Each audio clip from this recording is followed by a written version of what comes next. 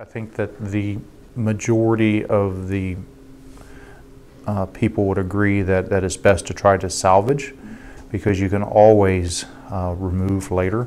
But once it's removed, it's, it's, a, it's a choice that you can't come back from.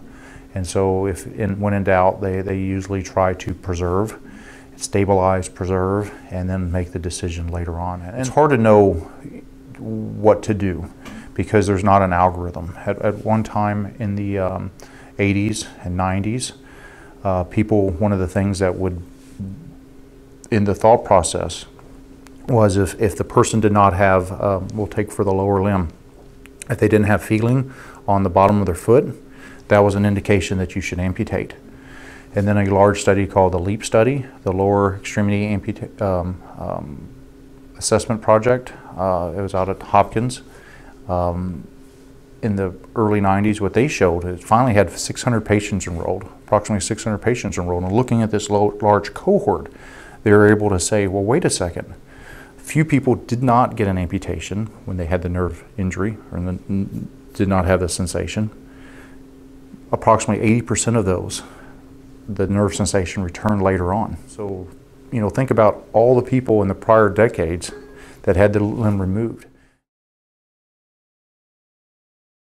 From the military side, whenever we had that large increase of funding, and I spoke about, what we did was we um, initiated a call for a clinical trials consortium. And, and we have a, a consortium called the, the Major Extremity Trauma Research Consortium.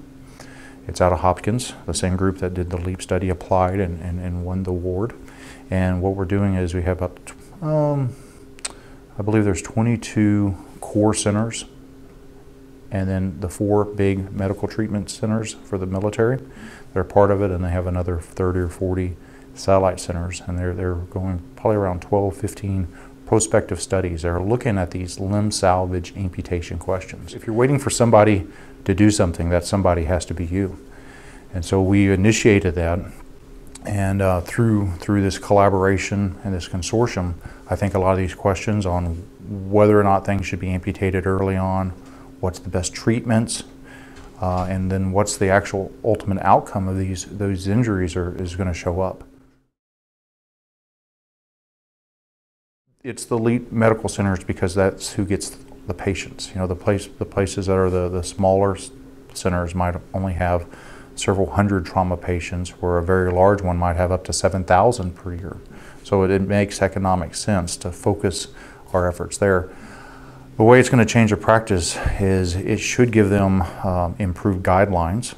First off, on how to tr treat patients.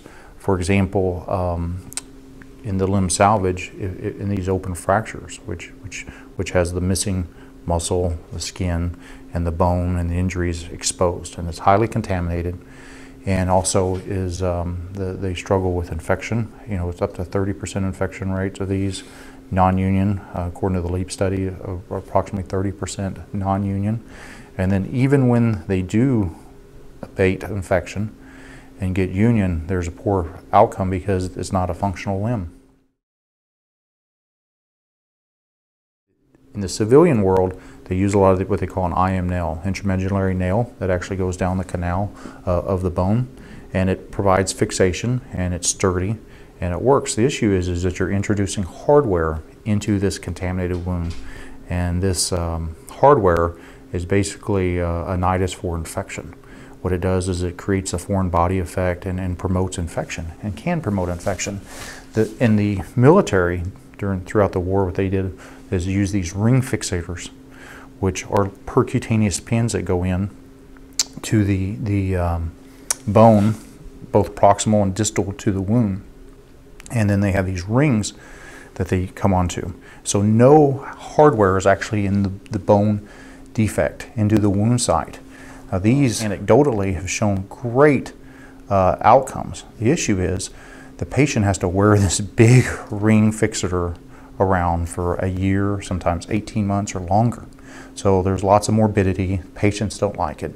And the other thing is the cost is about 20 times more expensive than the nail. Now, one could say if, if you abate infection, you know, just a few percentage infection increase, it would be worth it fiscally because you don't have to go back in and, and reoperate, which is you know roughly fifty thousand dollars for that every time an infection comes up. Uh, some modeling has shown roughly fifty, seventy-five thousand dollars to bring the patient back in, wash out, and regraft and keep them in the, the hospital. So it, it pays for itself if, it, if it's actually, but we don't know. So one of the large first studies that we're doing is a large prospective randomized trial where you know the patient consents and either goes into the IM nail or the ring fixator.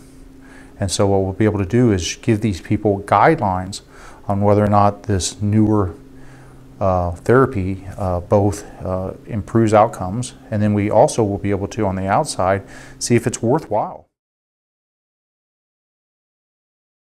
Part of this is driving um, for us in the military. If we know that this will improve the outcomes, it's done. But on the civilian sector, if the insurance does not reimburse it, the clinician does not always uh, allow to do it because it doesn't make sense.